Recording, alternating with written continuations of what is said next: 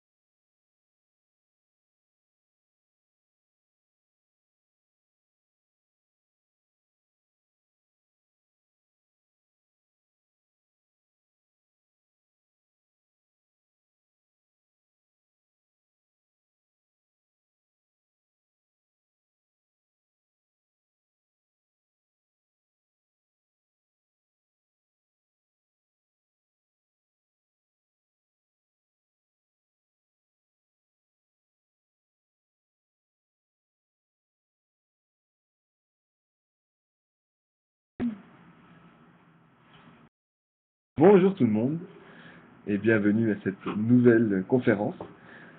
Je suis avec José Gravel. Je commencerai la, présentation, José suivra, puis je, reviendrai sur cette présentation. Aujourd'hui, nous, nous, souhaitons vous présenter les cours modulaires, la nouvelle vague de cours modulaires euh, que nous sommes occupés à, à, à effectuer ici dans le cadre du Centre franco-ontarien. Donc ce sera un petit peu l'objet de cette conférence qui abordera plusieurs sujets, les compétences du XXIe siècle et les nouvelles interfaces du design pédagogique que nous intégrons dans, dans ces nouveaux cours modulaires. Avant de commencer, n'hésitez pas, euh, si vous le souhaitez, à poser vos questions directement dans, le chat. Euh, nous n'avons pas de compte Twitter euh, qui est à disposition, mais... Ah, plus fort, pardon, excusez-moi. Je monte le volume, donc n'hésitez pas à utiliser le, chat pour nous poser des questions et soit nous y répondrons au fur et à mesure ou soit nous y répondrons en fin de, de conférence. Donc peut-être avant de commencer quelques mots sur euh, le Centre franco-ontarien de ressources pédagogiques, éditeur scolaire depuis 40 ans. Nous produisons des ressources pédagogiques papier dans un premier temps et des ressources pédagogiques numériques dans un second temps. Donc parmi vous, en Ontario, sûrement que beaucoup de personnes nous connaissent, mais l'étendue de nos ressources pédagogiques est tellement vaste que je me permettrai ici quand même de vous en citer quelques-unes. Les manuels scolaires papier, les manuels, euh, en tout cas toutes les ressources pédagogiques papier sont, sont les plus connues, mais nous allons aussi aujourd'hui vers des cours en ligne, vers des applications éducatives, vers des jeux sérieux, vers toute autre production numérique, riche média, euh, qui sont aujourd'hui des, nouveaux outils ou des nouvelles ressources numériques en éducation. Nous avons la chance cette année de, fêter notre 40e anniversaire et 40 ans de, production, 40 ans d'évolution, 40 ans de, mutation se font vraiment de manière successive. C'était des vagues de remise en question. Jean-Marc précédemment parlait de l'aspect bêta. Il est certain que le centre est systématiquement en phase bêta. On doit systématiquement se réinventer, revoir nos approches pédagogiques, revoir nos ressources pédagogiques afin de répondre toujours mieux euh, aux besoins de la clientèle, aux besoins des enseignants en Ontario, euh, dans la francophonie, euh, au Canada aussi de, manière générale. Donc cette mutation, ben, ces 40 ans aujourd'hui, c'est aussi l'occasion de vous présenter une nouvelle mutation, une nouvelle évolution euh, que nous avons réalisée cette année au sein des cours modulaires.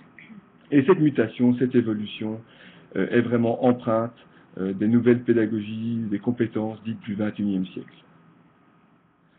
Donc, peut-être quelques mots sur les deux présentateurs qui vont, qui vont vous parler ici pendant les 40 minutes. Donc, mon accent vient tout droit de la Belgique. Donc, si jamais vous ne l'avez pas reconnu.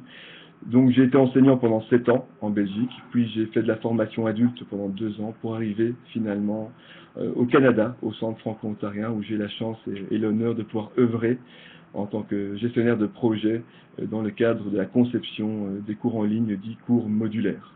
Et avec moi, José Gravel. Oui, bonjour. je vais moi aussi me présenter. je peux, mon parcours en tout cas, ben, j'ai enseigné pendant euh, une quinzaine d'années dans les écoles de langue française de l'Ontario. Euh, et c'est euh, ensuite ce qui m'a amené à travailler au ministère de l'Éducation en tant que responsable des, modules en littératie sur le site de l'atelier.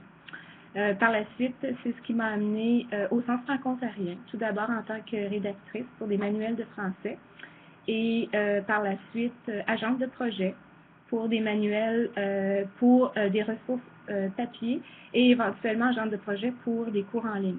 Et c'est ce parcours-là qui m'a amené au poste que je tiens aujourd'hui. Et c'est avec grand plaisir que je suis responsable du volet pédagogique des cours en ligne qui s'élabore ici au Centre Franco. Je vais donner la parole à Olivier. Merci José. Encore une ou deux dias avant de rentrer directement dans le concret de l'approche pédagogique. Vous voyez ici euh, une illustration. Généralement, je l'utilise aussi en début de, conférence pour susciter euh, le questionnement. Il s'agit, bon là vous avez la réponse de Galilée, puis Jean-Marc aussi faisait l'utilisation de, références plus anciennes, telles que celle de Piaget, euh, qu'il avait cité, ou, d'autres qui m'avaient beaucoup plu. Ici, on remonte encore un, peu, plus, un peu plus loin dans, l'histoire pour aller rechercher cette fameuse citation de, de Galilée, qui finalement dit qu'on ne peut rien apprendre à quelqu'un, sinon le faire découvrir par lui-même, finalement, pour qu'il apprenne par lui-même cet apprentissage. Et cette note de l'autonomie dans l'apprentissage est vraiment un élément important qui va caractériser notre, notre nouvelle approche pédagogique. Un autre élément dans cette photo que j'appréciais beaucoup, puis vous l'aurez peut-être reconnu, c'est la lunette astronomique. Donc, euh, un anonyme hollandais avait découvert que lorsqu'on plaçait plusieurs glaces de formes différentes, on pouvait avoir une vue euh, qui s'allongeait sur la distance. Puis euh, Galilée a finalisé cette invention avec cette lunette. Et puis au-delà de l'outil lui-même, cet outil lui a permis de faire une énorme découverte, à savoir que finalement la Terre n'est pas au centre de l'univers et la théorie de l'héliocentrisme euh, en est ressortie. Cette révolution galiléenne qui entraînera d'autres révolutions euh, avec Copernic et, les autres qui suivent. C'est aussi une des révolutions que nous avons dû faire au centre euh, cette année, une des énièmes révolutions euh, que nous avons fait sur nous-mêmes par rapport à notre approche pédagogique, passant d'un design pédagogique davantage explicite vers un design tout à fait innovant et tout à fait nouveau pour nous aussi. Donc c'est cette capacité finalement d'introspection et de de remise en question euh, que, que, nous vous présentons aujourd'hui, que nous avons vraiment le, plaisir et la chance de pouvoir vous présenter. Donc de ce pas, je vais laisser la parole à José qui va vous présenter un peu toute cette nouvelle approche pédagogique. Vous rejoindrez, vous retrouverez aussi quelques éléments évidemment qui sont présentés aujourd'hui, que ce soit par Marc Prensky ou que ce soit par, par Jean-Marc. Donc il y a des éléments que vous allez retrouver. Et je vous souhaite une très bonne présentation et je vous dis à tout de suite.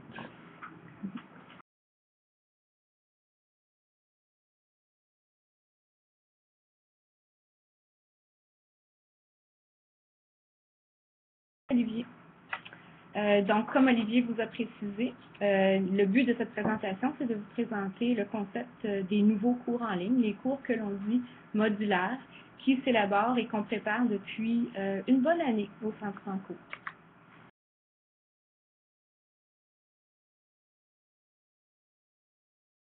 Euh, bon, j'aimerais avant tout faire peut-être une, certaine mise en contexte euh, l'historique des cours en ligne qu'on élabore au Centre franco-ontarien. Donc, Olivier a mentionné tantôt que le centre existe depuis 40 ans.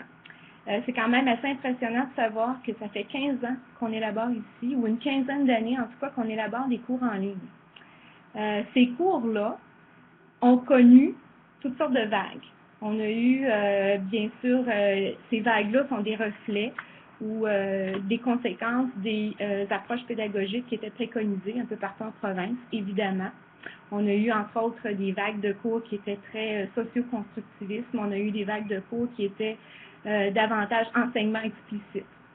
Euh, ces vagues de cours-là, c'était aussi le reflet des, euh, des différentes technologies qui étaient disponibles au moment où elles étaient rédigées et euh, aussi des connaissances qu'on avait par rapport à l'apprentissage en ligne. Ces connaissances-là ont beaucoup, beaucoup évolué. J'en profite pour faire une toute petite parenthèse, un petit peu éditoriale. Euh, je voudrais vous dire qu'au Centre Franco, ce sont des pédagogues, des enseignants de salle de classe qui rédigent nos cours en ligne. Ces gens-là, on les emprunte de leur conseil scolaire pour un semestre, un an, parfois plus, et on, on bénéficie beaucoup de leur expertise de leur créativité. Donc, euh, j'en profite pour... Et puis, ces gens-là, ils me disent que euh, cette expérience-là, elle est extrêmement formatrice et qu'ils n'enseignent plus jamais de la même façon. Et puis, je peux vous dire que c'est encore plus vrai pour les gens qui ont rédigé les cours cette année. Alors, j'en profite pour euh, vous inviter à, faire demande s'il y avait des affichages de postes pour les cours en ligne. Donc, comme je disais, 15 ans d'élaboration de, cours en ligne. Et, merci 15 ans d'élaboration de cours en ligne. Et euh, au printemps passé, on sentait que tous les astres étaient alignés justement pour qu'il y ait un grand changement et qu'on entre tout à fait dans une nouvelle vague. Euh, on voyait entre autres que l'importance euh, d'amener nos élèves à être plus compétents, à être plus prêts pour le 21e siècle, était de plus en plus présente. Et ça, ça entre bien entendu dans notre mandat. On voyait aussi que ou plutôt on a, euh, on a été témoin de la publication euh, de deux nouveaux programmes cadres, donc celui de sciences humaines et sociales ainsi que celui d'études canadiennes et mondiales. Et dans ces deux programmes cadres-là, la pensée critique, donc toute l'importance accordée à la pensée critique, mais aussi au processus d'enquête, rendait vraiment évident qu'il fallait nous changer notre façon de faire. Donc, autant notre contenu que notre contenant autant le design que l'approche pédagogique devaient changer. Et l'élément déclencheur, donc ce qui a démarré euh, peut-être la, la vision de ces nouveaux cours-là, ça a été vraiment la présentation de M. Garfield Jenny Newman, euh, comme, euh, comme il a été mentionné tantôt par Jean-Marc, qui a amené une réflexion vers une approche, mais aussi une structure. Et un outil de cette présentation-là, et puis à cette présentation-là, justement, on avait euh, des gens du ministère, entre autres, et des gens du CFORP. Et c'est là que euh, tout a démarré. Dans cette présentation-là, il y avait un outil que nous, on a trouvé particulièrement utile pour structurer euh, les cours, et c'était la cascade. Donc, je vais y revenir. Jean-Marc Jean en a justement présenté un exemple tantôt.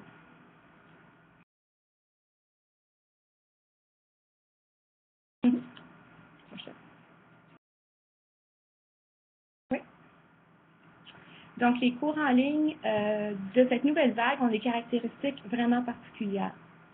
Donc, la première caractéristique, euh, c'est que c'est une, une, euh, une, approche qui est révolutionnaire en ce sens qu'on donne un rôle différent autant à l'élève qu'à l'enseignant. Donc, l'enseignant, il devient, il est un facilitateur, un guide, alors que l'élève, lui, il a un rôle d'enquêteur. Et c'est dans ce rôle d'enquêteur-là qu'il développe son esprit critique devant une surabondance d'informations.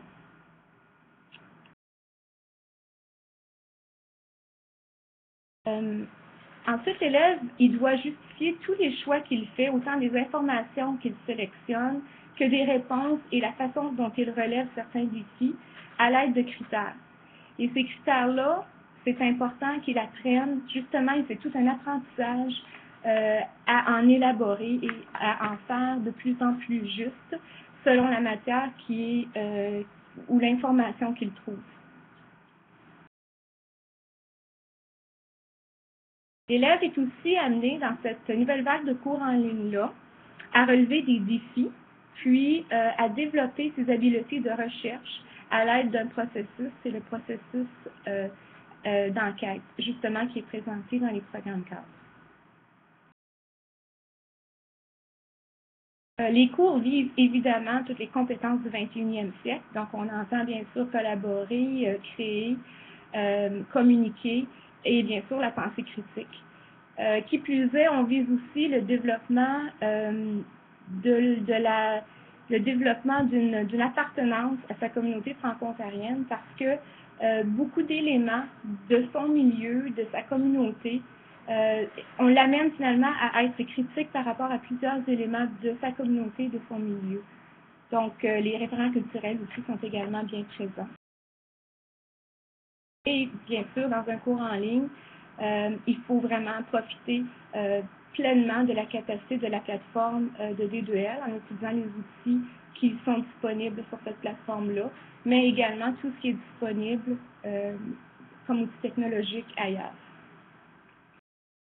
Les discours qu'on enseigne, ou qu'on enseigne, les discours qu'on élabore cette année sont tous tirés des deux programmes cadres que vous avez sous les yeux.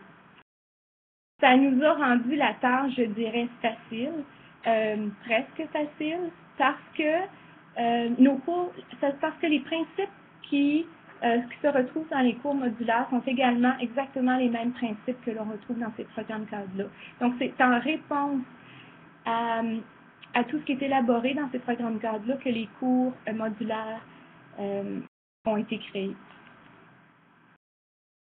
On trouve même dans ces programmes cadres-là des exemples dans les pistes de réflexion pour chacun des contenus d'apprentissage, des exemples de pistes de réflexion qui sont justement des questions de pensée critique comme il, a, été mentionné tantôt.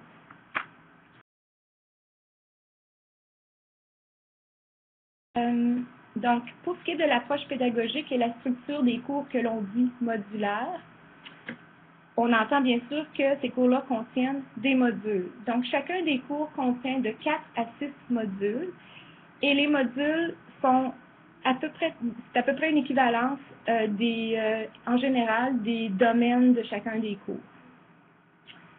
On trouve des tâches, des sous-tâches. On trouve des questions, des sous-questions et des questions en fait de pensée critique. On ne parle plus du tout, pour ceux qui connaissent l'ancienne vague de cours en ligne, d'activité. On parle plus d'unité. On parle plus d'onglets ou de sections contenu et travaux. C'est clair, il n'y en a plus de contenu. Le contenu, c'est l'élève. L'information, c'est l'élève qui la trouve. On n'a pas le mandat autant comme enseignant que nous ici euh, en élaboration de cours, le mandat de chercher l'information, puisqu'elle est en constante évolution, c'est vraiment un, mandat ou un rôle qui revient maintenant à l'élève. Et euh, d'en faire le tri, c'est sa pensée critique qui est justement mise à profit.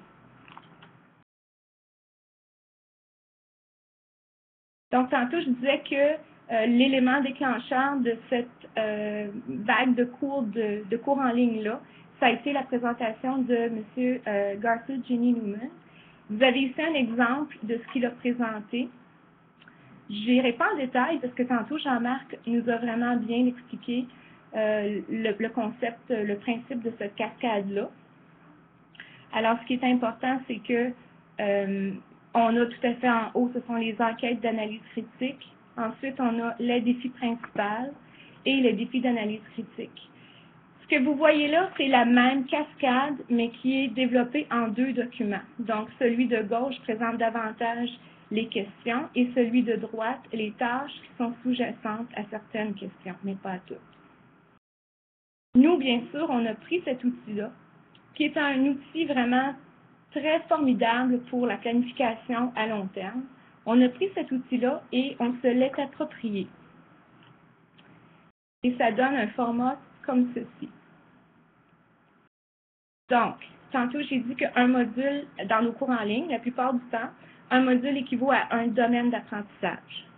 Tout à fait en haut, puis je vais y revenir un peu plus en détail, tout à fait en haut de notre cascade, on a en blanc la tâche d'évaluation sommative du cours. Cette tâche-là, ou cette, euh, cette question et cette tâche-là, on tient à les répéter sur chacune de nos cascades parce que l'élève nourrit cette tâche-là tout au long de son cours. C'est l'équivalent, si vous voulez, d'un examen, mais c'est évidemment pas fait sous format d'examen. Euh, oui, je vois la question, est-ce que les documents seraient disponibles à l'extérieur? J'ai euh, oublié de mentionner qu'on va, j'ai envoyé tantôt à José notre gabarit de cascade qui nous euh, fait plaisir de, vous, euh, de vous partager pour que vous utilisiez euh, à votre guise. Là, est-ce que des, je pense qu'il y a un problème de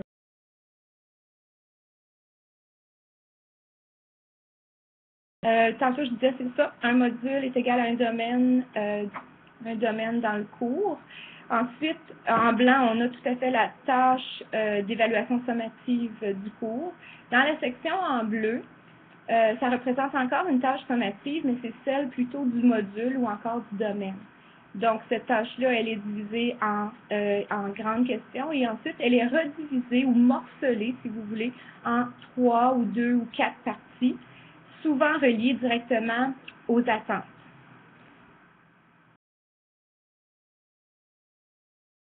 Et puis tout à fait en bas, les petits carrés qu'on voit, les petits rectangles plutôt qu'on voit en rose, euh, jaune et orangé, ce sont les, euh, les tâches ou les questions qui euh, sont les composantes d'évaluation formative. Je vais montrer un exemple. Donc, par exemple, ici, c'est la section en blanc de la cascade que je viens de vous montrer. Alors, on a une question englobante du cours. Et ce cours-là, c'est le cours HAG 4M, qui est un cours de développement humain. Donc, voici la question englobante de ce cours-là. Nous sommes plusieurs milliards d'êtres humains. Qu'est-ce qui nous distingue les uns des autres?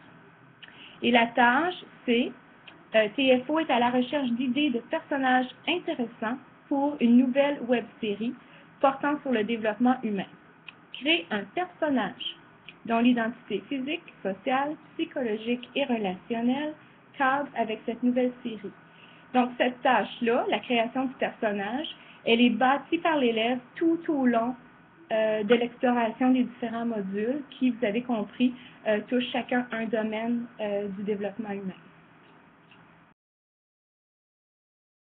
Voici maintenant un exemple d'une tâche d'évaluation sommative d'un module. Donc, il s'agit ici du module sur le développement cognitif, l'intelligence et le langage. Donc, euh, la tâche se lit comme suit.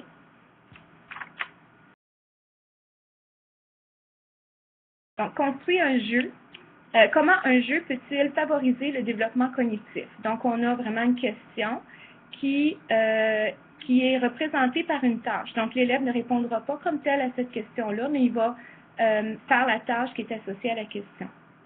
Soumet à une compagnie un projet de jeu qui favorise le développement cognitif.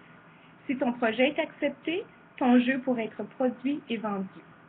Ça, c'est la grande euh, question, la grande tâche sommative du module. Et cette tâche-là, comme vous voyez, est redivisée en trois morceaux qui correspondent aux attentes. Je ne les lirai pas toutes, juste un exemple d'une sous-tâche. Euh, par exemple, la 4.2, qui est celle du milieu. Comment un jeu cognitif peut-il tenir compte euh, Comment un jeu cognitif peut-il tenir compte des différences individuelles tout en étant amusant? Et cette sous-tâche-là, donc ça c'est vraiment un morceau de la grande tâche, présente le public cible à qui s'adresse son jeu, tient compte des différences individuelles et des changements qui s'opèrent au cours des diverses étapes de la vie.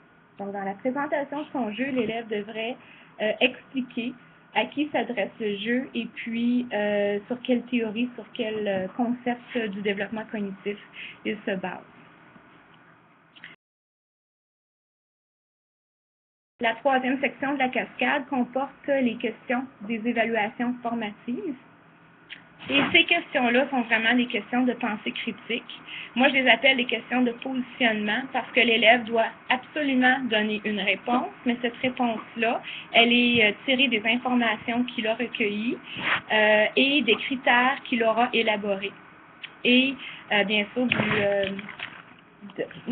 à l'aide de son esprit critique qui l'amènera à choisir les meilleures informations pour répondre. Alors, un exemple d'une de ces tâches-là, et puis on voit aussi des mots qui amènent justement la pensée critique. Euh, la 4.11, quelle théorie du développement cognitif et langagier est la plus appropriée pour concevoir un jeu? Donc, les termes la plus appropriée amènent l'élève à choisir une seule théorie à l'aide de critères et à l'aide de ses recherches.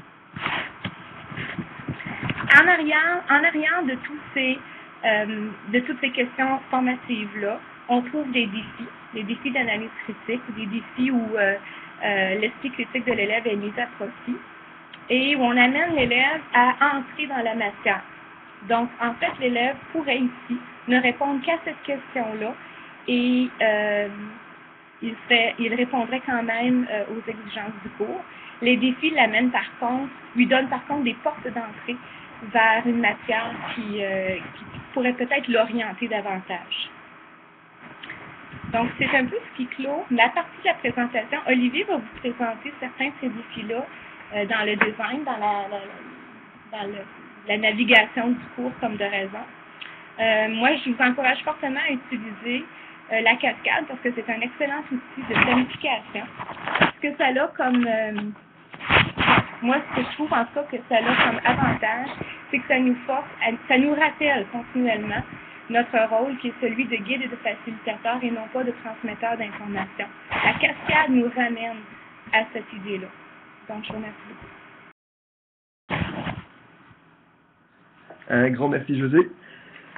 Donc voilà, on vous a présenté le design pédagogique. Vous avez entendu les mots de cascade, les mots de challenge, les mots de positionnement, la notion de critères, les rôles qui évoluent, l'élève qui est chercheur et enquêteur.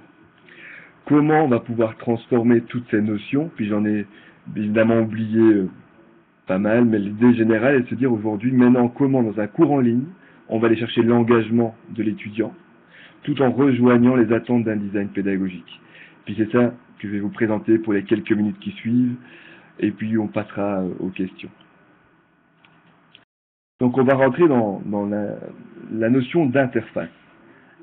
Dans ce qu'on parle dans les cours en ligne, on parle aussi d'expérience utilisateur, on pourrait parler d'expérience éducative.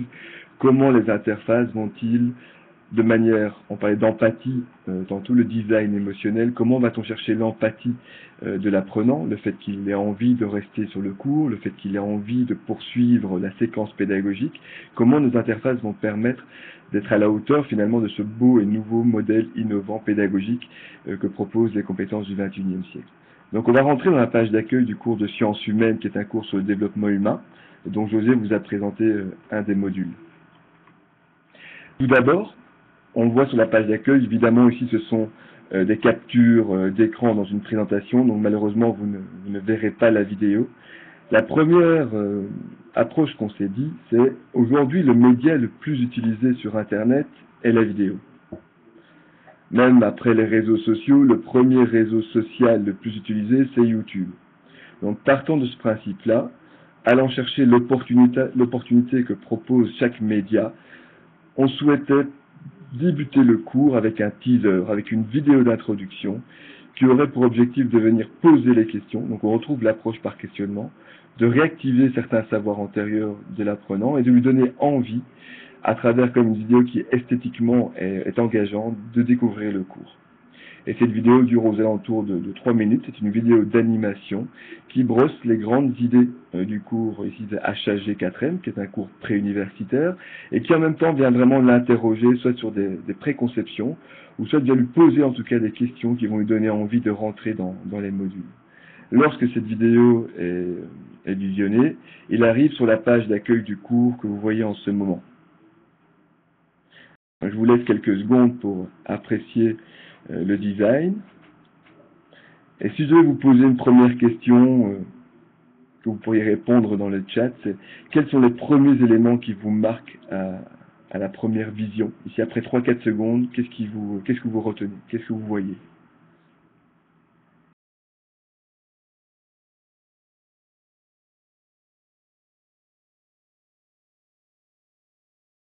Beaucoup de gens, c'est sûr. peu de mots aussi. De bons, de bons éléments sur lesquels je vais pouvoir rebondir. Et n'hésitez pas à continuer, je vais déjà commencer à, rebondir sur ça.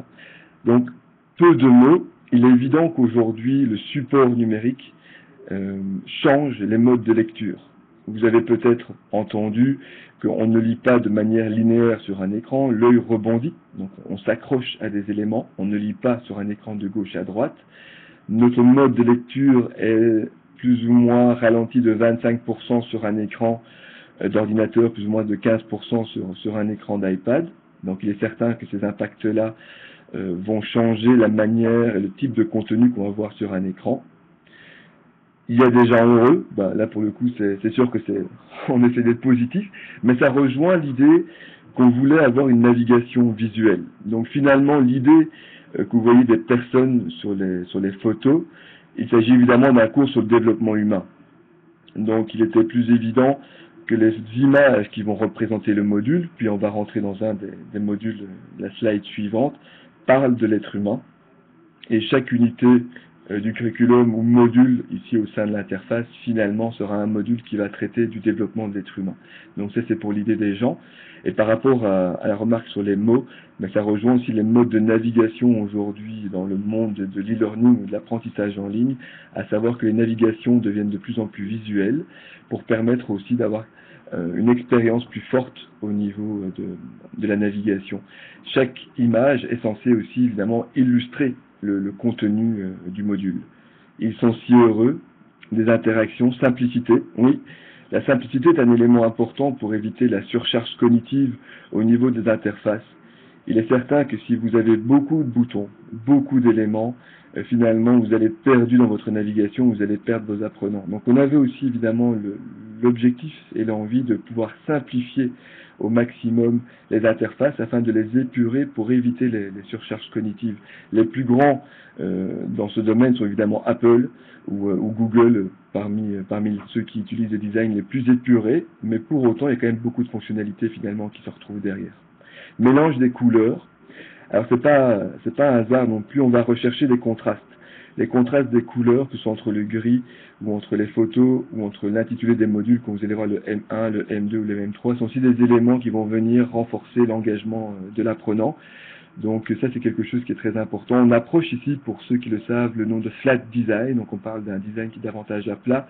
C'est ce qui pour aujourd'hui est le plus en vogue dans les, le design d'interface et le flat design, c'est un des éléments qui est de plus en plus utilisé dans, dans l'e-learning et dans les cours en ligne parce que justement, il permet de simplifier la navigation euh, et de rendre finalement l'information beaucoup plus explicite.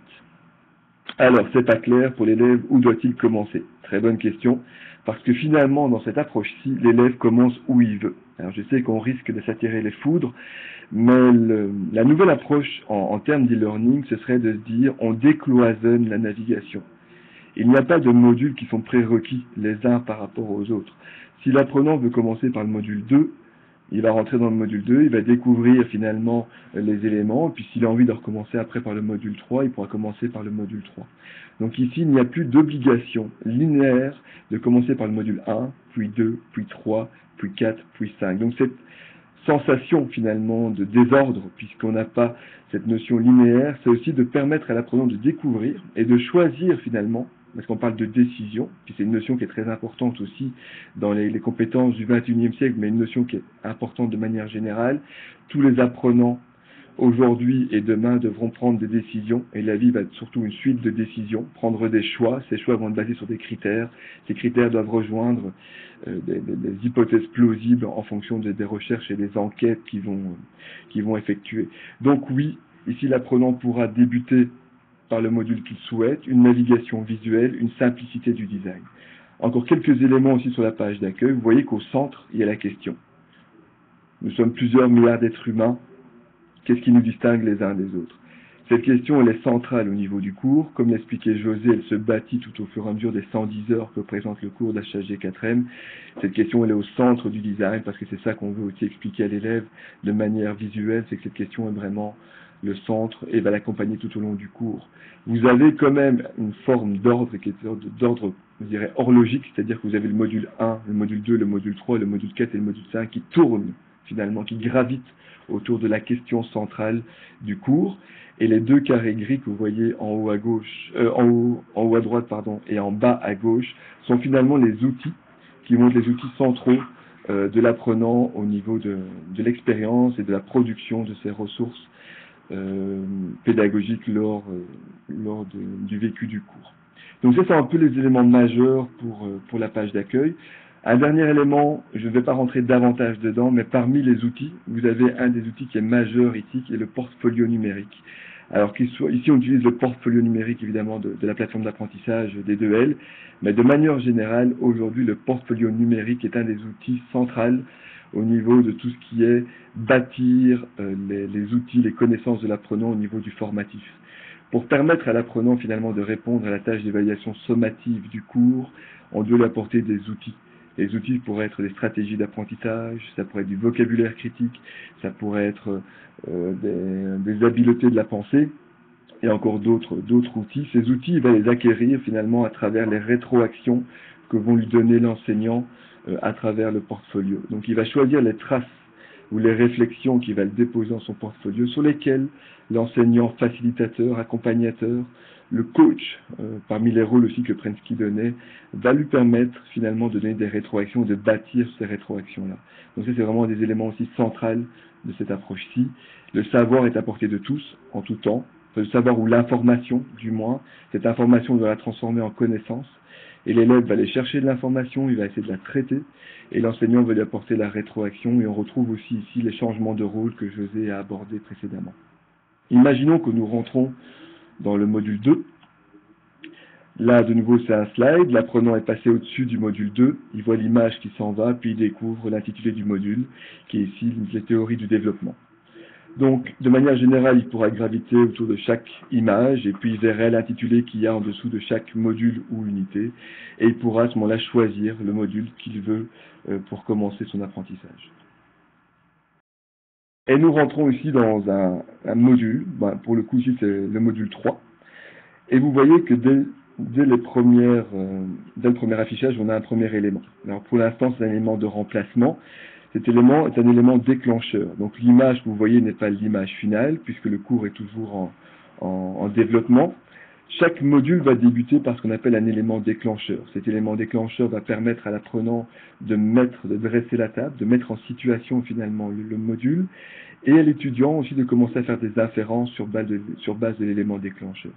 Donc ça, c'est un des éléments importants euh, qu'on va donner dans le cours. Ici, c'est chaque fois des éléments déclencheurs qui vont permettre aussi bien à l'enseignant qu'à l'apprenant, finalement, de, rentrer à l'intérieur de la matière. Si vous voyez juste en dessous, vous voyez module 3, l'intitulé du module, et puis vous voyez qu'il y a une case en gris et une case en rouge. La case en gris, c'est davantage l'exploration, et on retrouve la question englobante du module. Donc si vous vous souvenez des cascades que José vous a présentées, on retrouve la question englobante qui était le deuxième niveau. Le premier niveau est au niveau blanc, au niveau de la question globale du cours. Le deuxième niveau étant le niveau de la question englobante du module associé à la tâche englobante du module. Et c'est ça que vous retrouvez ici. Soit il explore, bouton gris, soit il répond, bouton rouge. Jean-Marc euh, parlait de l'inversion de, euh, de, la cascade euh, des habiletés, habiletés de la pensée ici précédemment. On retrouve la question sommative dès le départ. Donc c'est important dans ce nouveau design pédagogique de d'abord commencer par analyser les besoins finalement de la tâche sommative, qu'elle soit du module ou qu'elle soit euh, du cours, afin de savoir finalement ce qu'on attend de moi au fur et à mesure du cours. Donc c'est pas anodin que dès le départ, après l'élément déclencheur, le deuxième élément que vous voyez, le deuxième niveau de lecture que vous allez voir dans l'interface ici, est finalement soit l'exploration, avec la question englobante du cours, ou soit finalement la tâche sommative, avec, lorsque vous cliquez sur répondre, des consignes euh, plus élaborées sur finalement ce qu'on attend euh, de l'apprenant au sein de cette tâche sommative du cours. J'ai navigué au sein de la page d'accueil, j'ai sélectionné un module, j'ai visionné l'élément déclencheur, ça me passionne, j'ai envie d'y aller, je regarde la tâche sommative pour savoir ce qu'on attend de moi, et à partir de là, j'explore finalement les questions et les défis euh, qu'on attend de moi. Ici, le slide suivant. Avant d'arriver finalement dans les contenus d'apprentissage, on voit que la question englobante du module est divisée en deux questions sommatives.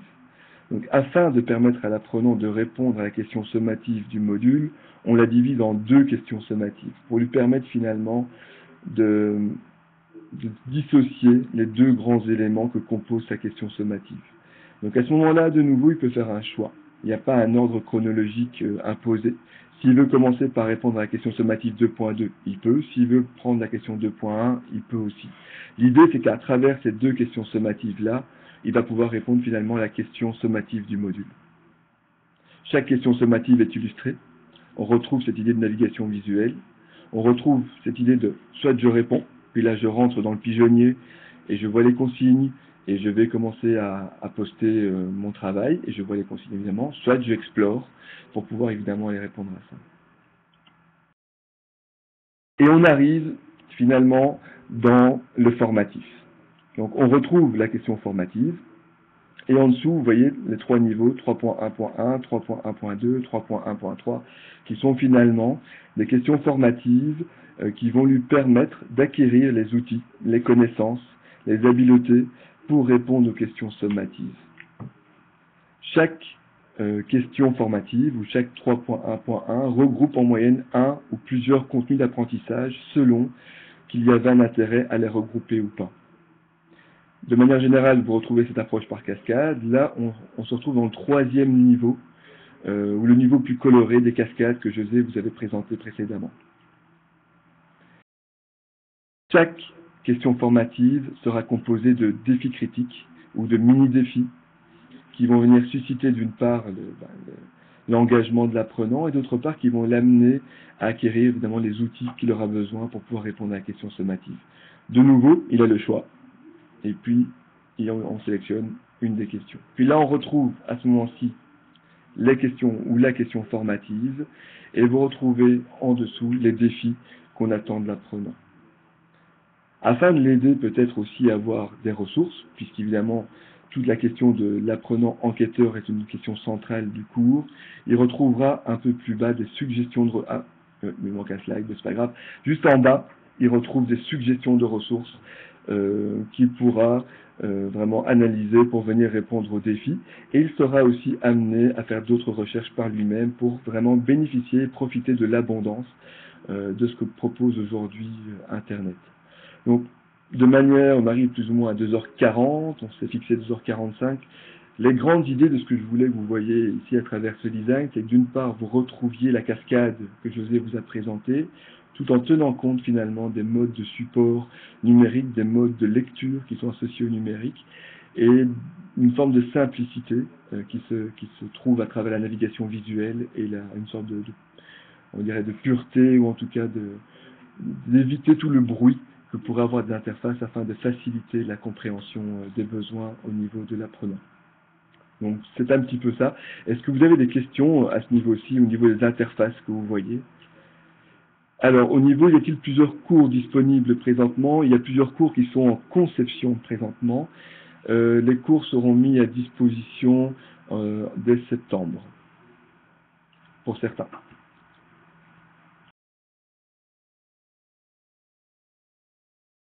Je vous laisse encore, c'est l'occasion de poser quelques questions.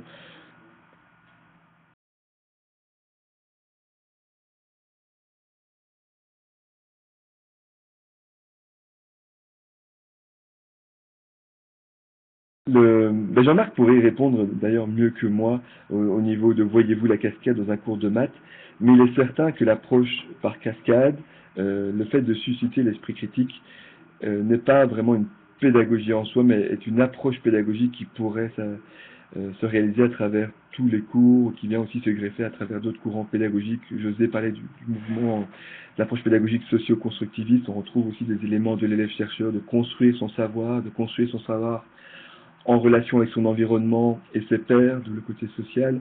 Donc oui, évidemment, les cours de maths ou les cours de sciences ou même les cours de gym seraient des...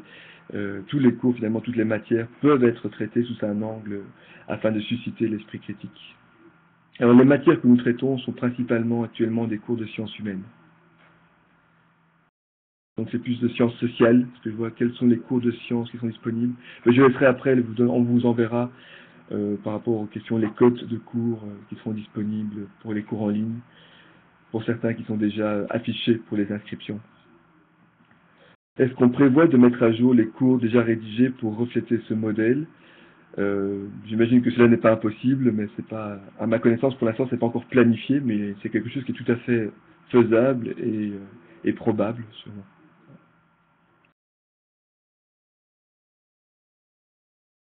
Voilà. Pour laisser quelques minutes, puisqu'on a encore quelques minutes. Euh.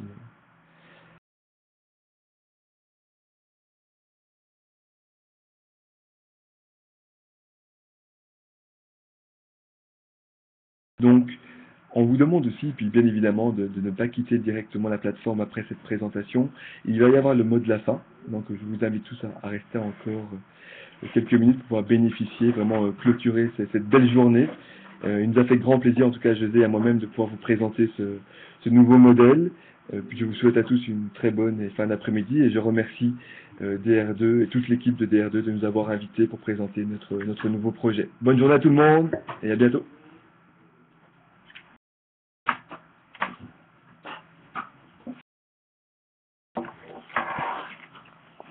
Alors, nous voici euh, rendus à la fin de la journée. Je voudrais euh, prendre le temps de remercier nos conférenciers Mark Prensky, Ewan McIntosh, Marc Châtel, Jean-Marc Dupont, Olivier Alfieri et José Gravel.